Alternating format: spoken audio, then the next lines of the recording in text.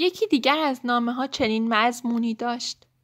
جرالدین ترنت به رغم وعده هایت مبنی بر اینکه به هیچ احدی نخواهم گفت تو یک شایع پراکن نفرت انگیزی و اعتمادی را که همه اهالی به تو نشان داده اند زیر پا گذاشته ای.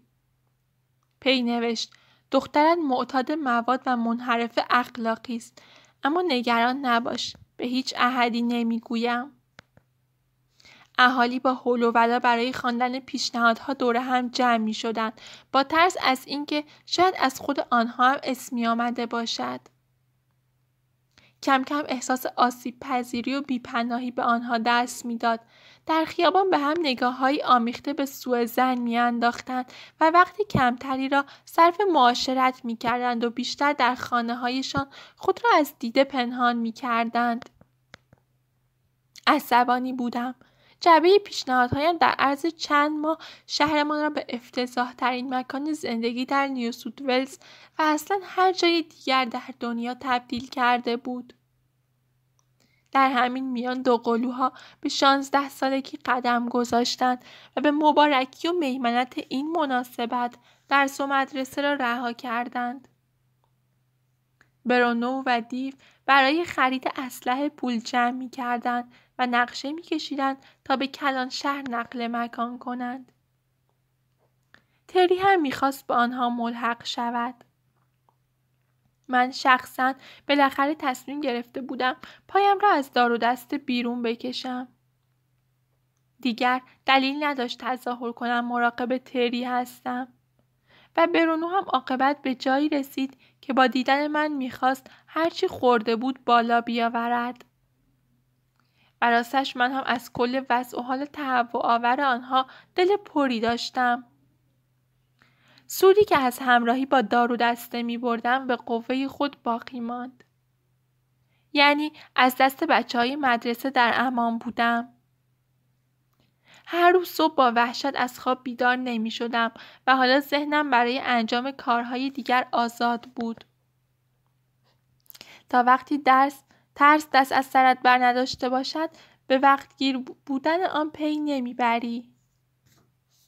تک تک ثانیه هایم را با کارولین سپری می کردم. نه تنها از جسم او که روز به روز با تراوت تر می شد بلکه از روحیه خاص او سر شوق می آمدم. تصور دائمیش این بود که مردم همه چیز را از او پنهان می کنند. با همه توانش از زیر زبان آنها حرف می کشید. فکر می‌کرد افراد میان سال که در مکانها و شهرهای زیادی زندگی کرده بودند همه چیزهایی را که از زندگی برمی آمد تجربه کردند و حالا او می‌خواست درباره آنها بشنود. به بچه های شهرمان اهمیت نمی‌داد. هیچی نمی‌دانستند. به حرف آوردن بزرگترها راحت بود. گویی همیشه به دنبال تخلیه گاهی بودند تا گنداب های تصفیه نشده و انباشته شده سرگذشتشان را در آن خالی کنند. اما بعد از شنیدن حرفهایشان با نگاهی بیروح که به وضوح تمام می‌گفت همهش همین بود آنها را سنگ روی یخ می کرد. او هم کتاب می‌خواند فرقش این بود که در مقایسه با من مجذوب چیزهایی کاملا متفاوتی از کتاب ها می‌شد. او شیفته زندگی شخصیت ها بود. اینکه چگونه غذا میخوردند، لباس میپوشیدند، می نوشیدند، سفر می‌کردند، کشف می‌کردند، سیگار میکشیدند، معاشقه می‌کردند، سیافت می‌گرفتند و عشق میورزیدند. دیوانه رسوم و سنت های بیگانه بود. دلش می‌خواست دور دنیا سفر کند. دلش می‌خواست که در یک ایگلو معاشقه کند. مسخرش این بود که لیونل پاس هم دخترش را تشویق می‌کرد. کارولین می‌گفت یک روز که از تاپ آویزان بودم سر و ته می‌شوم و شامپاین می‌خورم. پدرش هم که از مزخرفگویی روی گردان نبود می‌گفت آفرین به تو می‌دانم به آنجا هم می‌رسی آدم باید هدف داشته باشد بزرگ فکر کن معلوم بود کارولین پدرش را حسابی برانگیخته. اما کارولین به اندازه من از محیط پیرامونش ناخرسند نبود. زیبایی را در چیزهایی پیدا می کرد که من نمی توانستم ببینم. در آلاله های گلدان خمرهی آدم های سنی که دست هم را می گرفتند و گیزهایی که پیدا بود مصنوعی هستند. کوچکترین چیز باعث می شد سرخ کند و جیغ بکشد و زنان شهر هم ستایشش می کردند. همیشه کلاهایشان را روی سرشان صاف می کردند و برایشان گل می چید. اما وقتی با من خلوت می کرد آدم دیگری بود. فهمیده بودم مرام دلچسب و طرز برخودش با اهالی شهر نقاب او بود. چیز خوبی هم بود. بهترین نقاب موجود که یک دروغ واقعی بود. نقابش بافته بود از تکه پاره های ژنده همه بخش های زیبای وجودش. یک روز صبح سراغ کارولین رفتم و با تعجب دیدم که تری بیرون خانه او ایستاده و سنگ پرت می کند. سنگ ها در باغچه زیر پنجره خانه می افتادند. پرسیدم داری چه کار می کنی؟ هیچی. کارولین از پشت پنجره طبقه بالا داد زد تریدین اینقدر توی باغچه ما سنگ ننداز. توی این دنیا همه آزادن کارولین پاتس. توی چین از این خبرها نیست.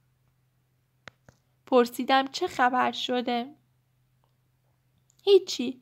اگر دلم بخواهد می توانم سنگ پرت کنم اینجا. دارم می بینم. کارولین از پشت پنجره تماشا می کرد. برایم دست تکان داد. من هم برایش دست تکان دادم. بعد تری هم دست تکان داد اما قصدش تمسخر بود. فکرش را بکن. کارولین هم با حالت دو پهلو دست تکان داد که رنگ و بوی کاملا متفاوتی داشت. سر در نمی آوردم که تری چه طلبی از کارولین دارد. گفتم بیا برویم خانه. چند دقیقه دیگر می آیم. می خواهم باز هم سنگ پرت کنم.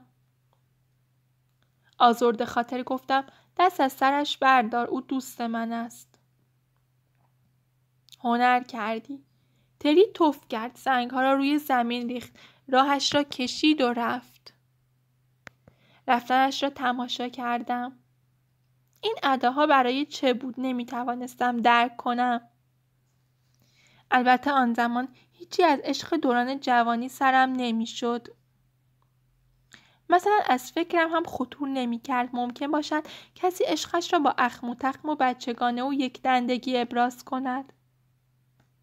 در همان بهبوه به دیدار هری رفتم و نمی‌دانستم این آخرین ملاقات من با او خواهد بود. توی اتاق ملاقات منتظر نشسته بود و با چشمان مشتاق طوری نگاه هم می‌کرد که گویی توی خانه زیر توشکم یک کوسن بادی گذاشته و حالا می‌خواهد بداند که آیا باد کوسن خالی شده است یا خیر. این ویدیو برای صفحه نوید داریا تهیه شده است.